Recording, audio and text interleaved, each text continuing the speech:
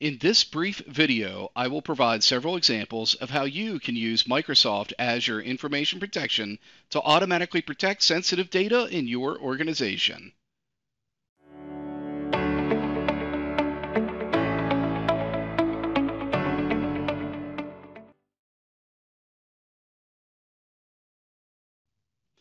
The integrity of customer data is critical for any business, especially those in regulated industries.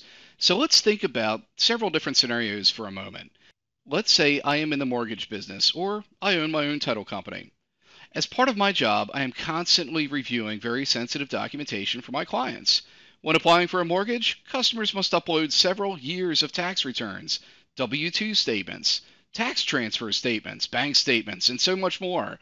There is a trust that the mortgage company will electronically secure these documents forever. So, how are these documents controlled once they are in the possession of the mortgage company? That's one scenario. Another may be an urgent care medical center that is required to keep your medical records secured. Or, what about the lawyer representing you in an upcoming legal case? How are the confidential conversation transcripts secured, or perhaps a brief secured, so they cannot be accidentally released? And what I mean by this is what if one of these documents is emailed outside of the organization's secured system? What if someone is very well intentioned and they want to get some work done at home? To prep for that work, they take some of these documents that are very sensitive and they email it to themselves, to their home address. Once that's done, it's outside of your organization's control forever. And who knows how they are reading it at home, on what system, and what controls are in place on that system. Let's take a look at these scenarios and how Microsoft thinks about them using features that are already built in to Office 365. There is no longer a need for additional servers, any crazy architectures, and all of the added complexities that traditional document protection systems required in the past. In this example, Think about the accounts receivable department I could be working in where I am processing hundreds of payments per day. How are those credit card numbers kept internal? So let's watch and see what happens when a user in that department creates a document containing credit card numbers. No, this is not a real number, so don't even try using it. So the letter is written. Let's go up here and try to save the file. We'll save it to our local PC. As soon as I hit save, Watch what happens. I get a notification up top that says, hey, this is a confidential document. It contains credit card data. It, uh, and the label has already been applied. Notice also, I have a header that's been placed into this document. For this next example, imagine I am processing mortgage related documents, and many of these documents contain U.S. Social Security numbers. Here, this document contains several of those Social Security numbers, so watch what happens again when I go to click Save. I save the file, and within seconds, Microsoft Azure Information Protection recognizes that this document contains Social Security numbers and needs to be classified as sensitive.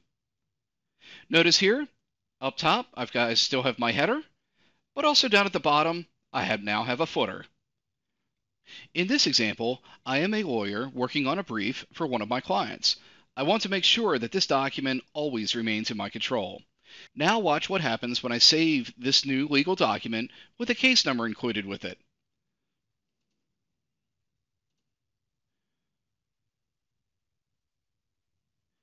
Here again, Microsoft Azure Information Protection picks up that this is a sensitive document that contains information related to my client's legal case. Now also notice I not only have a header, a footer, but I also now have a watermark. All of these are controlled within the Microsoft Azure Information Policy area that I'll show you in just a moment. Here, I'm going to open up the Case ID from the Outlook app on my Google smartphone. I'm now asked for my authentication information. And here on the document, once it's finally opened, you can also see the label on top of it. Confidential, legal case, document label. The encryption is on the file and will always follow that file, no matter if it is saved to Google Drive, Dropbox, or emailed anywhere in the world. The encryption remains with it. So let's take a quick look on the back end. in the administrative experience to see exactly how this is done. Here, I've started out in the Microsoft 365 Compliance Center. Next, I'll go down to Information Protection. And here is where you're going to see the labels that were just applied to the examples I showed. Let's focus in on the Social Security PII label. We'll edit the label and go through a few settings. We can see here we've got display name, a brief description, how the policy is applied. Here we see the encryption settings. Next are the content markings. Notice how I, I am controlling where the footer is placed, the header is placed, as well as the watermark. And I've customized each one of the text areas. Here is where I've defined the Social Security number format. Notice how I don't just have the US Social Security number format, but I also have the social insurance numbers for Canada, Spain, Japan, the EU, as well as France. These are several of the over 100 predefined categories that you can select for any one of your label rules. To, to add another one, simply click on Add and Sensitive Info Types. Here, I can search through all of the different predefined labels.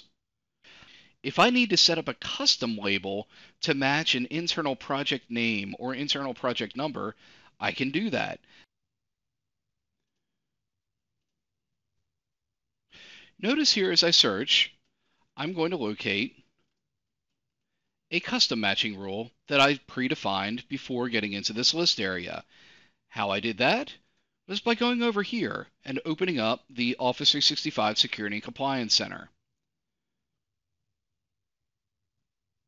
From here, I open up the classification area and look into sensitive info types.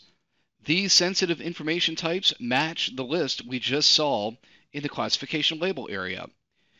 And here's the label that I created. For the legal documentation example I used, I was just keying off the word case ID. You can use regex examples to look for patterns in words and numbers, as well as just keywords here. As you can see, it's very simple to set these up.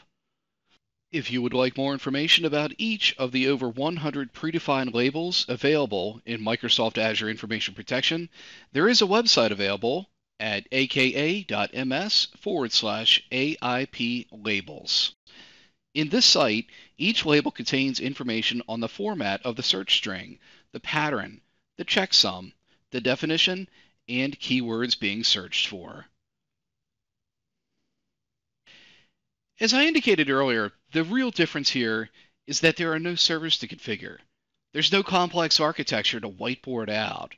There's no third-party tools I had to learn to implement these types of features. I remember several years ago helping a large healthcare hospital network with some email routing and protection issues. Wow, did they have quite the infrastructure set up in their SMTP mail flow to monitor, identify, and encrypt emails and documents like this to protect their patients. While it worked, think about the servers they had to purchase to implement this protection. Think about all of the software on top of that they had to purchase. Think about the maintenance contracts. And what was really interesting was when I asked some detailed questions about the service, no one knew the answers. That was because the person who had set up the system and was trained on it left a year prior to our conversation. With Microsoft Azure Information Protection, the service is already here.